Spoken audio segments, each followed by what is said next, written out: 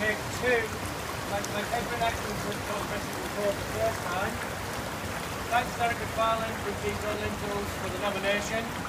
I'd like to nominate Richard Bolt from Carvers, Bob Butler from Ridgeons, and our very own Mike Stally from JT Atkinson's. Who goes? Again.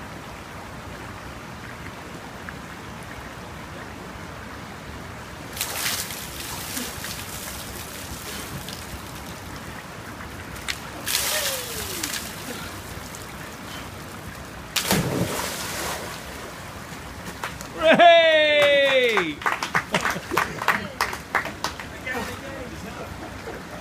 oh, it's not recorded again. Oh.